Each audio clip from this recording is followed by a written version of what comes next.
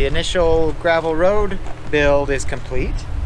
Um, we're standing where the yurt site is right next to us by Tina. I'll point the camera that way. All those random holes will turn into footers for the yurt.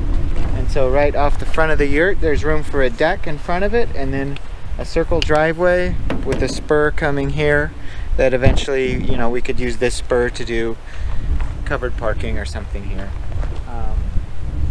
But really nice to have nice access set up. Really helps kind of jumpstart um, moving out here.